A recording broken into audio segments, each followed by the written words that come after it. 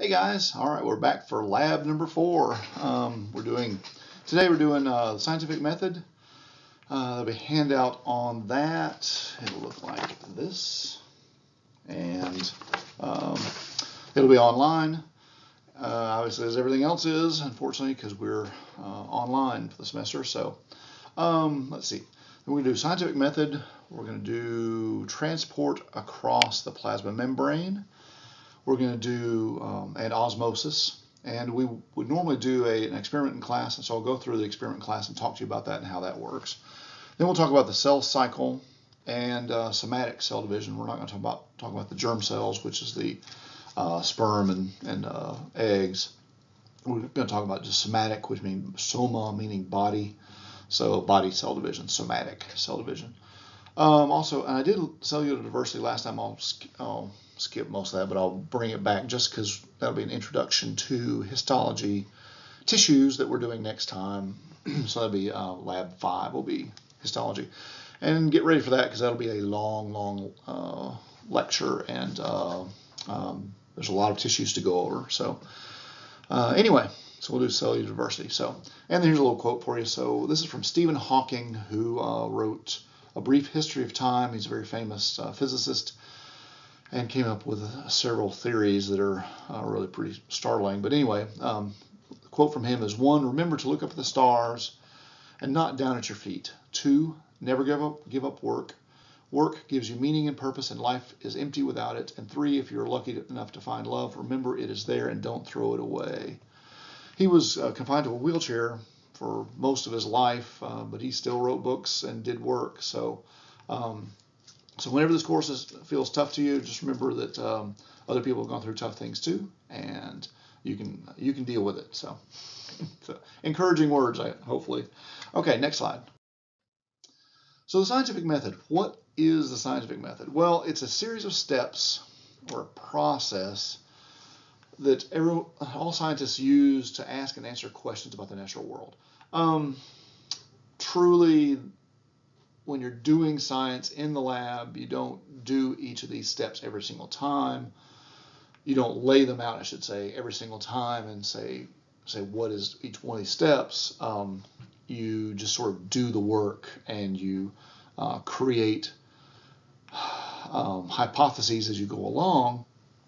Um, and but you don't uh, lay out every single one of these in your lab notebook every single time. Okay, so but this is a really good description of how the scientific process works.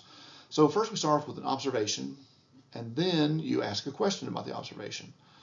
Then you uh, produce an educated guess, which we refer to as a hypothesis. Then you do an experiment to test your hypothesis. You look at the results, and from those results you draw a conclusion. And you then can either um, discard your hypothesis and create a new one, or your hypothesis is reinforced. It's basically one of one or the other. Uh, or you know, so you so either um, discard your hypothesis, mo modify your hypothesis, or um, uh, or or you just your basic hypothesis is just confirmed. So you do you'll do more experiments to make sure that it actually is true. So so it's um, this series of steps is just a just a series, and you do this multiple times, trying to uh, figure out how something works. So, like, what kind of observation would you would you know would you make? Uh, well, you can do think about this in the lab and think about really complicated things, but um, you can also think, you know, just look around your room where you are and um, observe some things. So one things you one things you could uh, think of is like, well, leaves are green, the grass is green. It might be a little brown now. It depends on how much it's been raining. Um, the sky is blue is another observation or maybe the sky is is white or gray, uh, depending on on what the weather is. But let's, let's start with uh, something like uh, the sky is blue. So you observe that, and most people they sort of observe things, but they never ask the next question. So what's the next question? Well, the question questions you ask are usually why. Uh, you could ask how, you could ask what, when, and where. Um, the the uh, you know journalism type five you know five questions you know how what when where and why. Um, and then you uh, but then you so you ask the question. So let's say why. So why is the sky blue? Well uh, you can make up a hypothesis that uh, that well, let's see, um, sky is blue because um, well we know what we know, and you can base your hypothesis on previously identified information. So you can say, well, my hypothesis is I know that light can be broken into different wavelengths if I use a prism. And you've seen the rain, you've seen rainbows, and so you've seen the prism, so you see red on one end and blue on the other. So maybe red is being, um, uh, you know, I'm not, maybe I'm just not able to see the red red light. Okay, and um, so you say, okay, there's my my hypothesis is going to be in a certain form. It's going to be in a format of um, I observe this, so so and I and I think this is what's happening. So this is what I would expect to happen if I did a certain experiment. So uh, what you say is an if-then statement. So um, so you say the sky is blue because I can see blue light. So we can do some experiments. We can take um, air and we can shoot uh, light at it and see if blue gets um, deflected more by the air molecules in there than red light does. And it turns out it does. And so what happens is when the when the sun is there, it's shining shining down towards you. The the, the blue light gets scattered by the molecules. The red light tends to, tends to just go um, go uh, past you, so you get more scattering of more blue light down towards you. And as you are, as the sun is lower in the sky, there's uh, there's so much uh, air molecules there that scatters all the blue light away, and mostly what you see is the red light coming through. That's why the, sun looks a lot redder when it gets yellow and redder when it gets close to the horizon because there's so much atmosphere for it to go through. The red light can come all the way through, straight through the, those molecules uh, in the atmosphere, but the blue light gets scattered all over the place, and so you don't see nearly as much blue when the um, uh, the sunlight when it's coming down towards you. So uh, when, when the sun's low in the sky. So, and the sky is more red and all that. So, so you can do an experiment. So there was our experiment. We take a like a glass jar and shoot you know light through it and see if the blue is reflect is refracted more than more than red. And we take our results and we draw a conclusion saying, okay, so our conclusion is that the blue light is uh, refracted more than the red light is, so that's why the, the sky looks blue because we see those those uh, air molecules, the light bounces off of it, and eventually bounces down to our eye, but the red light um, takes off in all different directions and just keeps going. So, so there's there's a one example. We're going to go through some other examples as well. So, uh, so one and two. Let's start off with uh, an observation about the world around you. You get up one morning and your car won't start. Everybody, probably everybody's experienced this at some point. I know I have. Um, so then you, you formulate a, formulate a question about your observation. So, you, well, you'd say, why won't the car start? And uh, so there's several possibilities. You immediately start thinking of those, what those are. Um, so you, you form a hypothesis, an educated guess. So if I do this, then this will happen, an if-then statement. So you must uh, state your hypothesis in a way that will allow you to answer your original question and in a way that, that it can be easily measured or tested. So um, one uh, one example hypothesis is um, is uh, if I change the battery, then the car will start because I think the battery is dead. So what you've done is taken your your conclusion, uh, the battery is dead, is what you conclude is probably happening, and uh, what you guess is probably happening, and you put that into your hypothesis. So I think the battery is dead. So if I change the battery, then the car will start. So now you've created not only um, the the observation and a reason for that observation, uh, an answer to the question why the car won't start. Um, why won't the car start? I think the battery is dead. So if I change the battery, um, the car should start. Then the car should start. So you've created the statement that can be tested. So so all you have to do now is do your experiment and change the battery, and then turn the ignition and see if the car starts. So um, and when you're doing this, these variables, there are variables that are in your experiment that you need to be aware of. There is the independent variable here, the dependent variable, and control variables. So control variables are all the conditions that the experimenter attempts to keep constant. So, um, and when you do an experiment, the best way to experiment is only change one thing at a time. Okay, so try not to uh, change more than more than one thing because the experiment gets really hard to interpret if you change more than one thing. So uh, the dependent variable is the conditions being measured. So in this case, it's will the car start or not. Okay, that's your dependent variable. So what is being measured? The independent variable is the condition that's being changed by the experimenter. So I'm going to change out the battery. So that's my independent variable is the battery. So the battery's independent variable down here. Where's my cursor? There it is. Independent vari variable is the battery. Dependent variable is the car ignition. So whether the car starts or not. Um, and then control is all the other conditions in the car. You must, must keep those constant. So um, let's say, um, uh, for instance, that your car was wouldn't start because you're out of gas. Okay. And so, but you say, oh, I think my battery's dead. So you replace, so you replace the battery. Okay. And your car still won't start. So then you go, okay, that wasn't the problem. It's a different problem. But if you change both the battery and put gas in the car at the same time, you've changed two things and now you don't know why your car didn't start. Were you out of gas, or was it because of the battery? You don't know. You can't tell. You can't interpret your experiment. So this is a simple experiment, but you can see it would get really complicated if you're working with things that are invisible uh, chemicals or cells that you, that are difficult to see with a naked eye or can't be seen with a naked eye. Um, so that's why you have to be very careful when you're designing your experiment to only change one thing at a time if you well, possibly can. Uh, it's valid to change multiple things as long as you acknowledge that you are changing multiple things and it's more difficult to uh, interpret the results.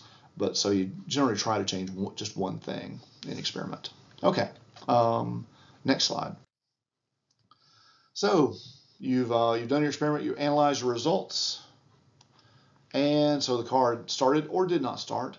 So so then you reach your conclusion and does the experimental result refute or support your original hypothesis?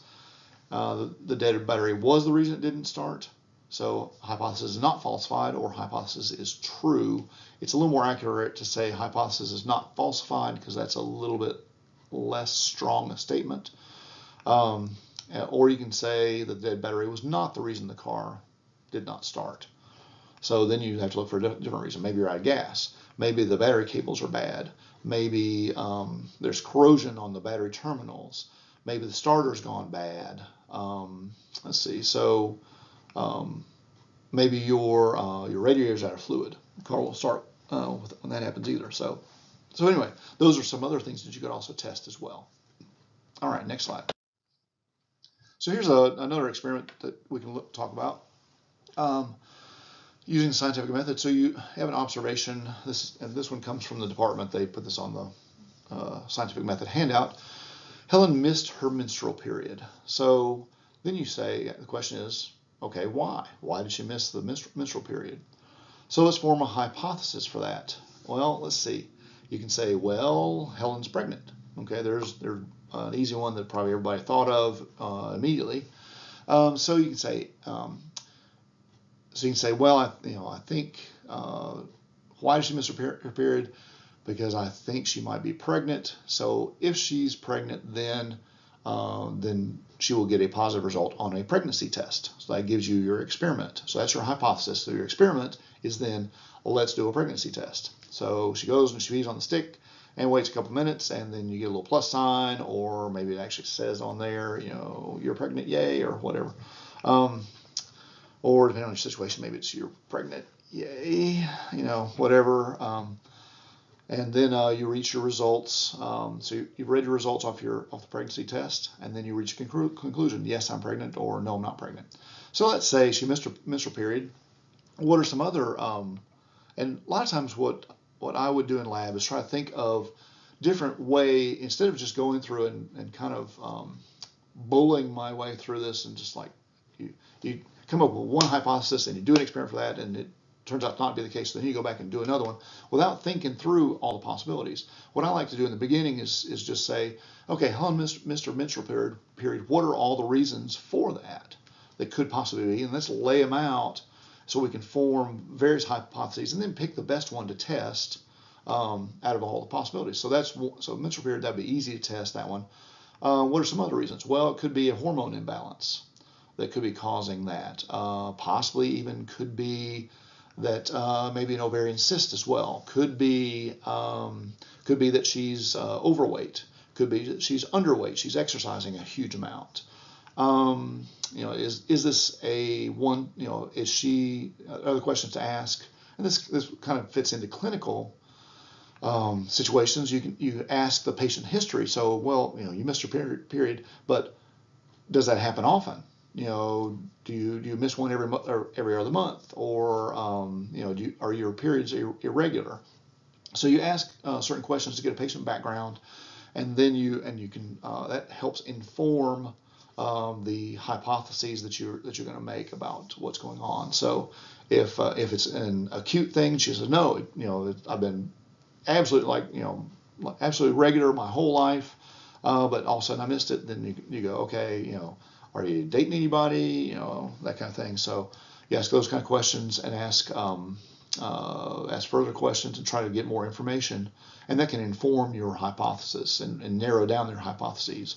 So you know you don't have to worry about, and you can look at their weight and see and ask about uh, are they exercising a lot? Have they increased their exercise you know recently? All those kind of things. So um, so all those kind of background information can inform your uh, the choice of hypothesis that you want to test first.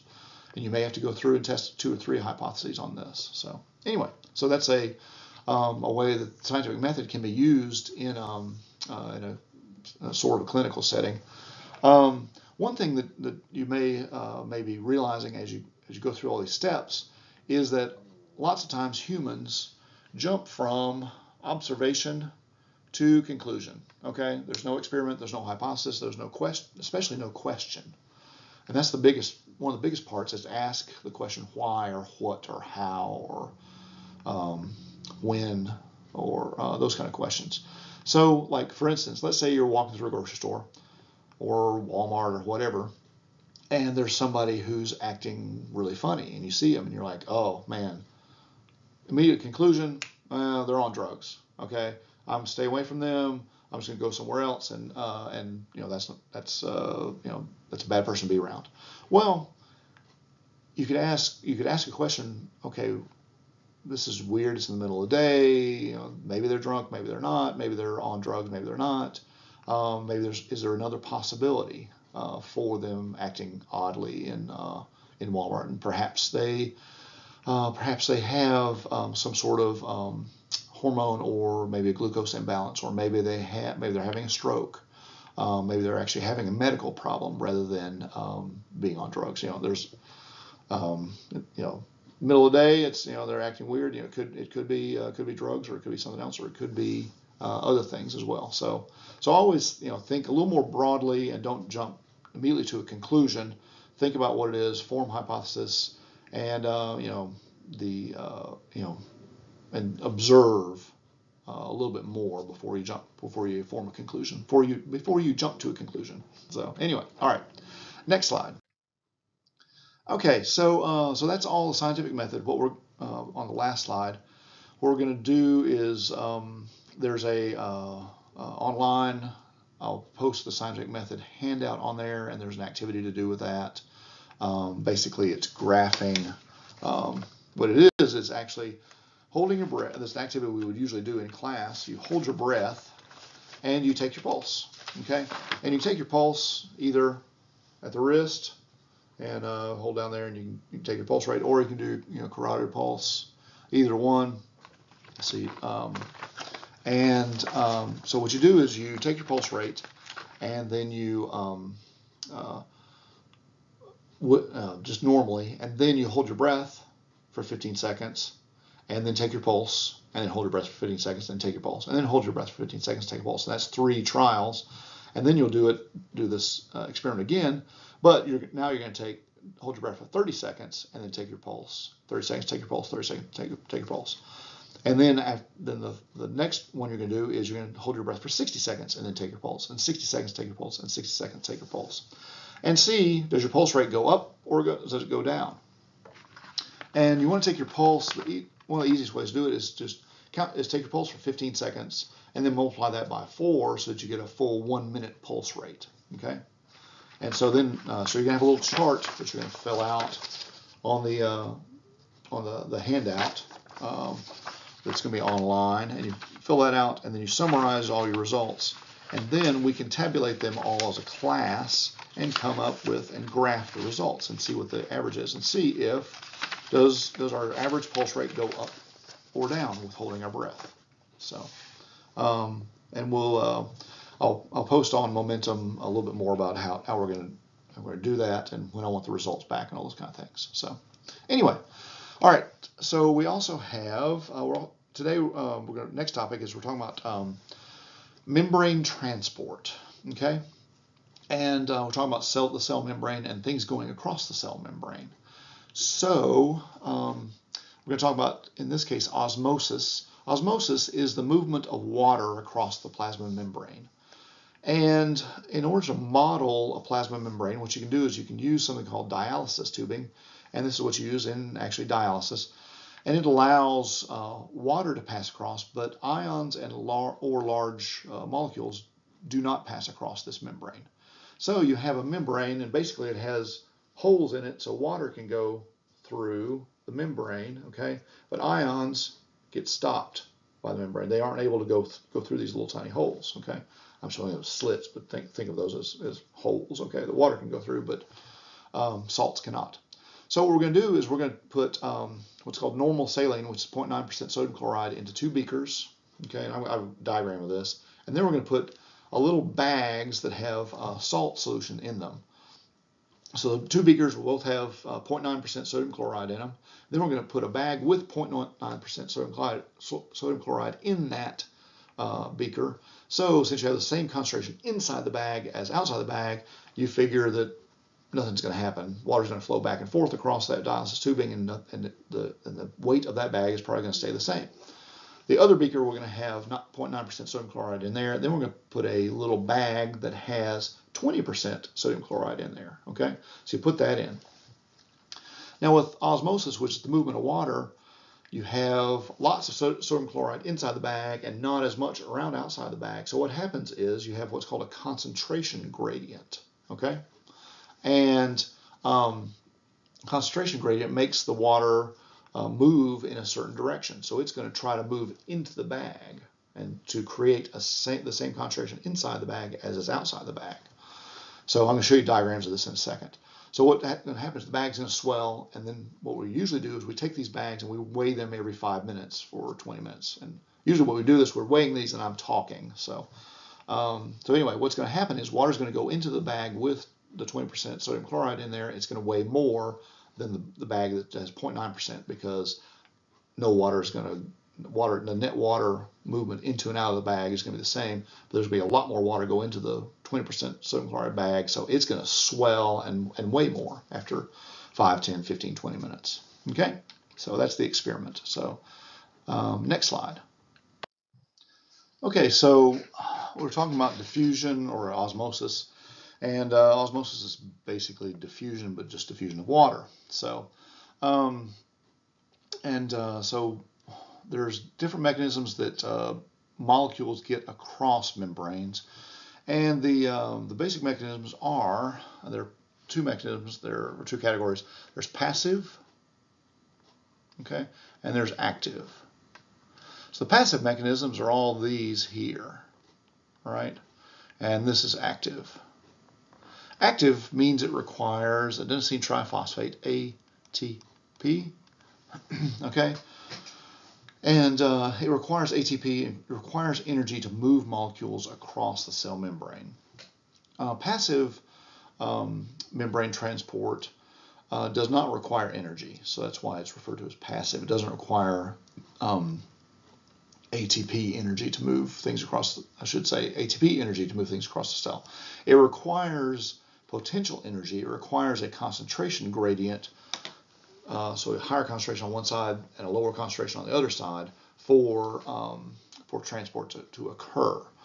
Uh, for and it's essentially diffusion across um, either the membrane itself, so you can have simple diffusion here. You have what's called facilitated diffusion.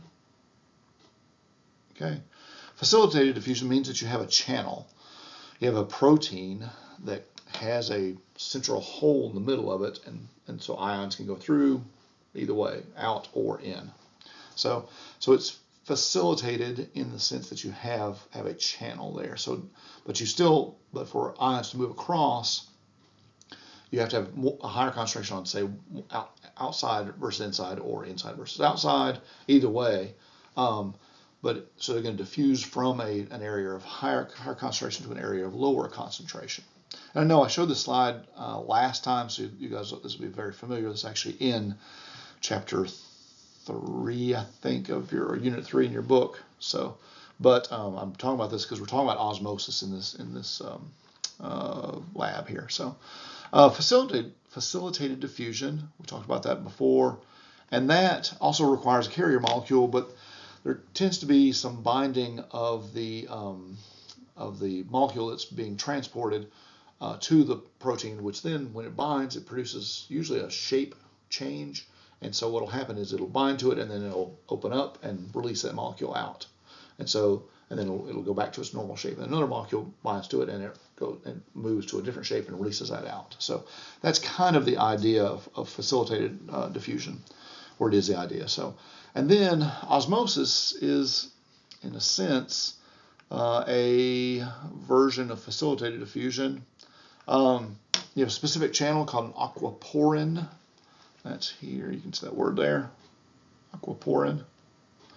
Um, so it allows um, water to go go through the um, uh, plasma membrane. Because remember, the plasma membrane is is composed of these hydrophilic heads and hydrophobic tails, and a hydrophobic tail and hydrophilic head down here.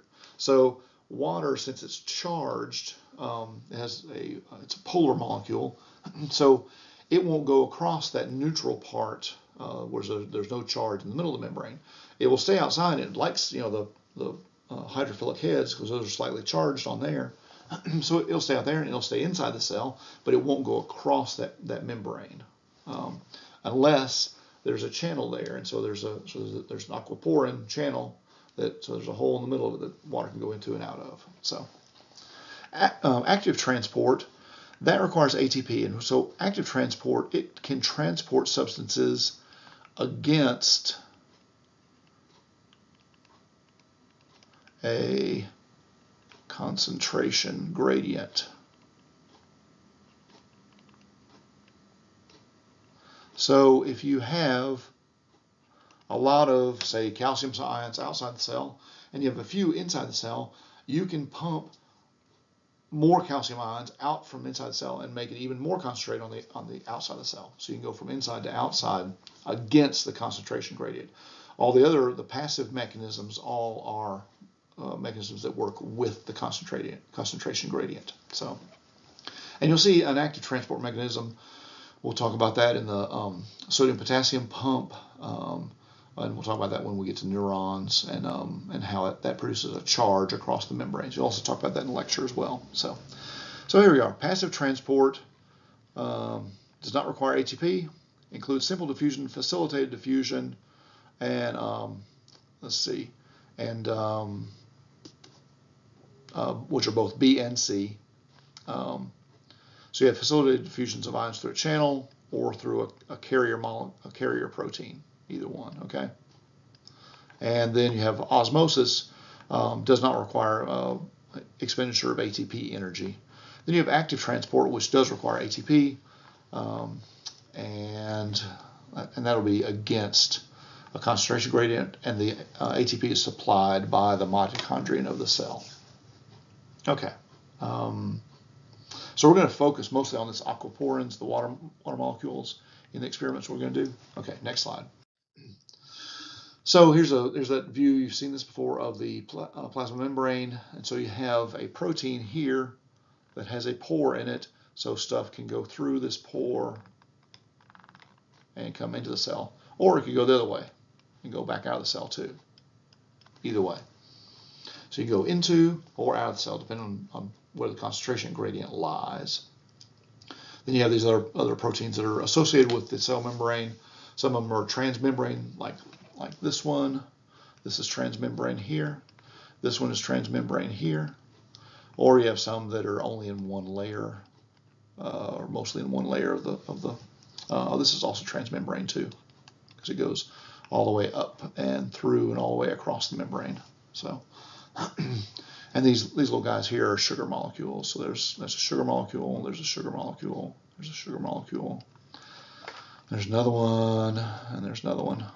So it's uh, some sort of some sort of carbohydrate, um, carbohydrate molecule that helps give that protein its distinctive function um, uh, on, on the surface of the cell. Okay, and you notice the carbohydrates are generally on the surface of the cell. It helps in they help sometimes in recognition of, uh, of proteins uh, to self, uh, or they may have other functions as well. Anyway, the point is that you have this channel of some kind that allowing uh, molecules to go into and out of the cell. Next slide. So active transport versus passive transport, what you have is um, potential energy. So here a, a, bike rider uses what's called kinetic energy, energy of motion, and he goes up the hill. So he's putting energy into it. He gets to the top of the hill, and now he's got what's called potential energy because he can coast down the other side side of the hill, and that potential energy is lost as he's coasting down the hill. So potential energy means that there is a difference in energy between one state and another. And so in this case, we're talking about diffusion. So we have potential energy, we have a um, uh, higher concentration of, of, stuff on one side of a plasma membrane uh, versus the other side of the plasma membrane. So passive diffusion works because of potential energy. It's stored kinetic energy. Um, the driving force behind the passive uh, transport of passive diffusion is the concentration gradient. Okay? And um, so and it can be simple diffusion or facilitated, facilitated diffusion, and which requires a protein to do to do it, but no ATP energy. Next slide. So diffusion is the movement of solute.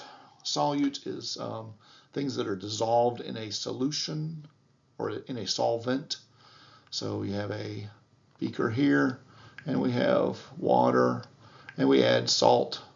So add little dots. They're supposed to all be dots of salt, and each of those is salt. So each of those is sodium chloride, which is a sodium is positive, chloride is negative.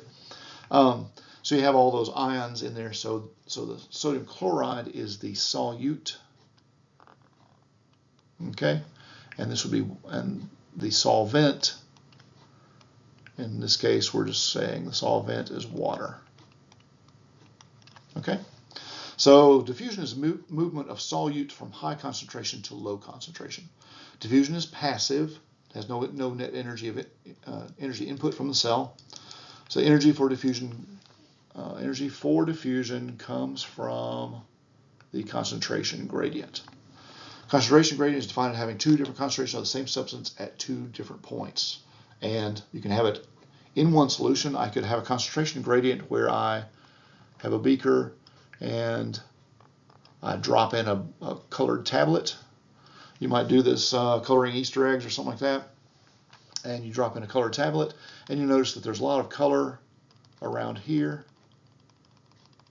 but there's not as much color over on the right side. Okay, there's lots of color here, and there's not as much on the on the right side. Eventually, the color will diffuse across, and the whole thing turns blue eventually as the as the tablet dissolves, as the concentration gradient evens out across the across the uh, the, the bowl or the cup or, or the beaker, whatever you've got your uh, your colored tablet in. And you have the same thing happen with uh, you put sugar into say your iced tea and you stir it up and you'll see little crystals of sugar at the bottom and eventually those as you keep stirring those will, will eventually dissolve and then you distribute the um, sugar throughout the tea and so you have sweet tea. Um, you can uh, if you throw sugar in uh, put some sugar in your tea and taste it immediately it won't taste sweet because the sugar has not had time to dissolve. You have all the sugar at the bottom so you have a concentration gradient of a lot of sugar here and almost none at the top where you're drinking from. So, But if you let it dissolve, then the tea becomes sweet. So then you've distributed your concentration gradient so it's an even gradient across the whole solution. Anyway, next slide. Rate of diffusion. Rate of diffusion depends on several factors. These are how steep the concentration gradient is, the temperature, and the size of the particles. So generally, usually the smaller the size, the faster diffusion occurs. The steeper the concentration gradient, the faster it occurs, and the higher the temperature, the faster diffusion occurs, the higher rate um, uh, diffusion uh, will occur. So the rate of diffusion increases if you have small particle size, steep concentration gradient, and high temperature. So in general. Um, next slide. So, so here's the tablet I was talking about, or colored sugar cube, whatever you want to call it. So you see the go, you drop it in here, and then it starts diffusing. you see a little bit of color all around the sugar cube, and then the color starts distributing more and more within the beaker, and finally the, the sugar and dye molecules are, are evenly distributed across, uh, throughout the beaker. And uh, so you have, um, or throughout the solution in the beaker, I should say. Um, so there, so there is no more concentration gradient in in this beaker here on the on the right here. So, okay, next slide. Osmosis. Osmosis is the movement of solvent from a solution with a lower solute concentration to a solution of higher solute concentration through a selectively permeable membrane. So what does that mean? Well, so solvent, uh, generally when we're talking about solvent, we're usually almost always talking about water. So this would be movement of water across, and this would be a, to call this our selectively permeable membrane. Okay, so be right there. And then our solvent is water. And we'll have water on both sides. So we have this selectively, selectively permeable membrane. So you have a membrane that has holes in it so stuff can get through. Well, in this case, only certain things get through, get through, and if we can pick our membrane correctly, we'll pick one that only lets water through but does not let ions or other large molecules go through. So, if I have a beaker and so I'll make this into a beaker. So I have water on both sides of my membrane. Okay? But then I put a whole bunch of salt on this one side. What's going to happen? Well, what happens is that there's a lot of, the water can move, but the salt can't. So the salt's going to stay, stay the same. What happens is you have a concentration gradient, so you have lots of salt here. You have sodium chloride. Here, you have lots of it. Uh, let's see. Sorry. I'll just write that out. You have lots of sodium chloride on the right side, and the left side you have none. Okay. So what's going to happen is sodium chloride can't go across this membrane over, it can't do that. Okay, it can't do that. Draw little X's. But water can go this way. So what will happen is the volume starts increasing on the right side. So the volume starts going up over here because you're always trying to equalize that concentration gradient and make it the same on both sides. So it's going to so it's going to raise that water up on that. Let's see. Actually, I'm going to try to do this. Raise that water up on that on that side. Okay. So I was trying to do it with the picture I just drew. so. Um, so solvent is going to move to the more concentrated solution, okay? And to try to dilute it until the concentrations are equal or approximately on each side. So, and then movement, net movement of water molecules will cease if the concentration gradient is gone. You'll still have uh, movement of water molecules back and forth across the across the membrane, okay? But it'll be the net movement, so you have you won't have like a whole bunch move and then a few move. You'll have say four move and four will come will come, go back the other way. So you have net movement will be zero. All right, next slide. So here's a, a U-tube um, experiment. So you have your selectively permeable membrane down here, okay, right there. And we have solute molecules, so this could be uh, whatever's dissolved, in the solvent. So it could be, we could call them sodium chloride, just for kicks, okay? So it's sodium chloride dissolved here, and then we have solvent molecules, those are little, little balls, and so let's call that water. So what's going to happen is the water molecules are going to try to, it's going to, this, these two, two sides are going to to equalize, equalize out um, the concentration gradient. So water is going to start trying to move across the selectively permeable membrane. Salt molecules can't go that way, so the water has to is going this way. So what happens is the volume increases on the right side. So the volume goes down on the left and up on the right. Okay? And you can actually do this experiment. You can actually uh, do it at U-tube and let it sit for several hours, and you'll see the volume go down on one side and up on the other, even against the force of gravity. Okay? So the movement is due to what's called hydrostatic pressure. So it's hydro meaning water, static pressure. Next slide. Okay. So um, so here's um, compare diffusion and osmosis. So here's osmosis is movement of solvent of solvent.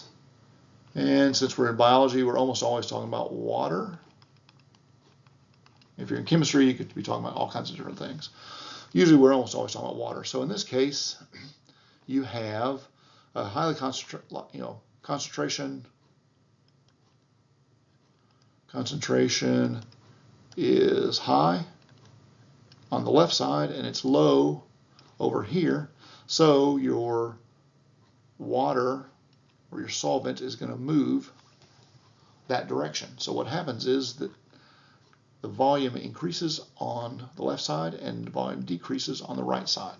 So you can see how that happens. It goes down, it goes, sorry, try to do this with, with the picture. It goes down and goes up. To the right, yeah. So as, as uh, osmosis occurs. Diffusion is the movement of solute molecules. Okay? So let's call these sodium chloride just for kicks. Okay? So we have, a high, again, we have a high concentration on the left, a low solute concentration on the right. So what happens is solutes move this direction. Okay? But this membrane, uh, in this case, is permeable to both water and solutes. Okay, so water goes through. So water goes one, goes one direction. So fluid goes this direction. Okay, and the solutes all go this direction. And so what you end up with, the solutions stay equal on both sides, but the numbers of solute molecules become equal on, on both the right and the left sides. So, okay, next slide. Here's another picture of it. Uh, so um, diffusion and concentration gradients. So diffusion, we're talking about the movement of solute molecules. So solutes in a solvent is a solution. So solutes, uh, sodium, potassium, uh, chloride ions, could be oxygen, could be uh, calcium, could be glucose, all that kind of stuff. solutes are dissolved in a solution. The concentration is the amount of solutes in a solution. We can measure um, molarity or percent so we might say it's a 0.9% sodium chloride solution, which is also called normal saline. Um, so 0.9%.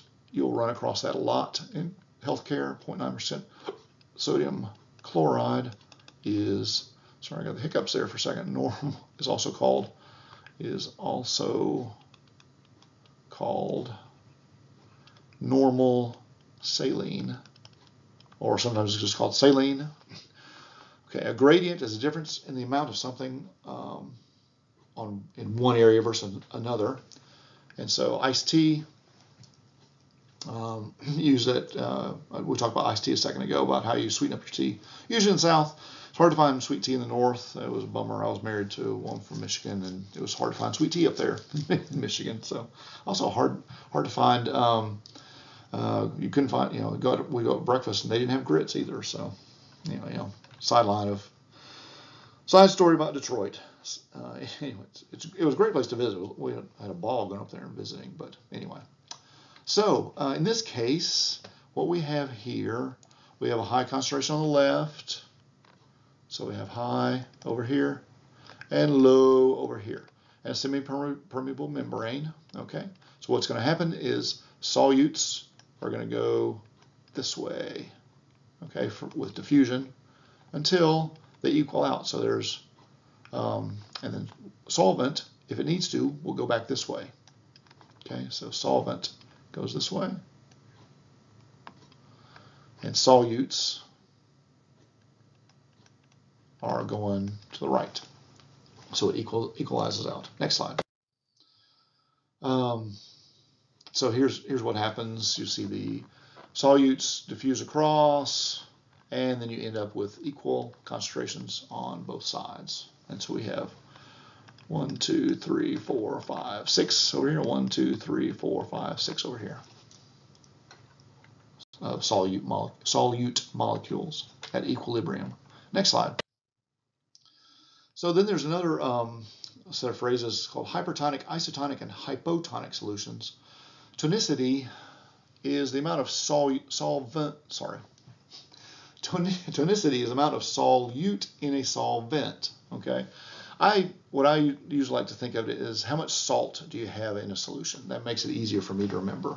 So tonicity is so you and uh, when you have hypertonic, isotonic, and hypotonic solutions, solutions is plural, so we're comparing two solutions.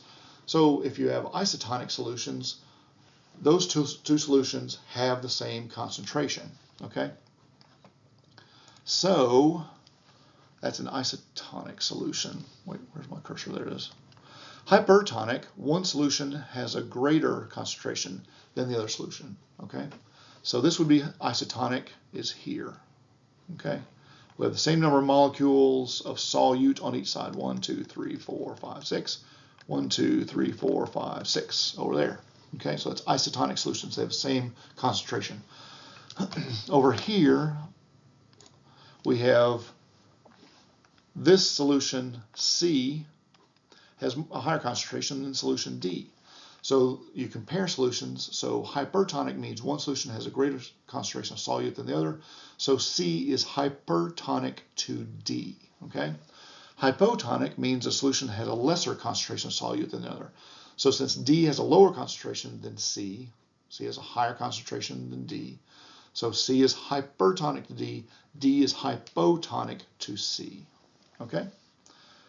So there's that's how hypertonic and hypotonic work. So next slide. And the reason this is important is you don't want to give a hypertonic solution or a hypotonic solution and inject that in somebody's veins because uh, that could cause lots of problems.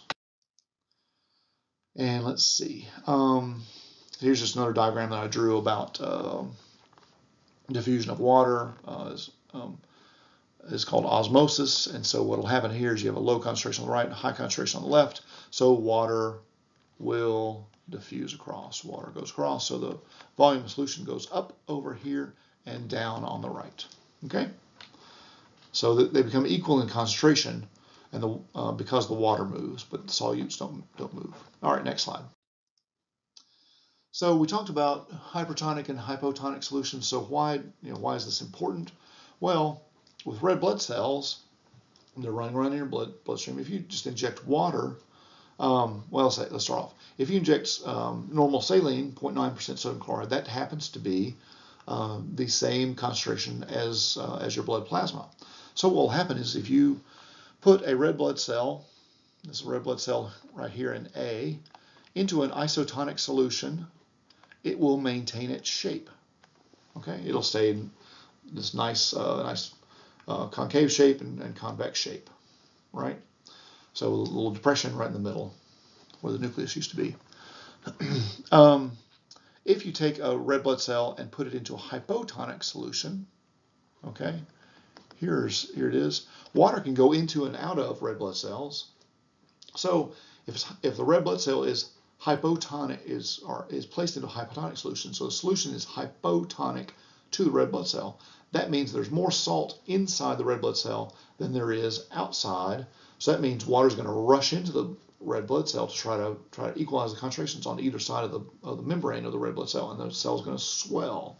And eventually, what's going to happen is the swell will burst as the um, concentration of water increases. And you can actually do this on a microscope slide. You can take uh, blood, do a blood smear, and then add some water to it, and you'll you'll actually look a couple minutes later, and your blood cells are are gone because they're all they all swelled up and burst.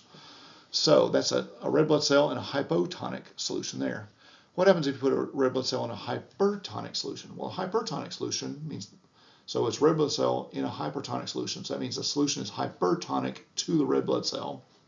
That means there's more salt outside the red blood cell than is inside the red blood cell, which means that water it tries to equalize concentration. So there's more salt outside, so water moves out of the cell to try to equalize the concentration inside and outside the cell. So the cell will shrink. Okay, so that's what this is showing here. Cell shrinks, and shrinkage is called crenation. So the cell crenates. And so shrinkage is called crenation.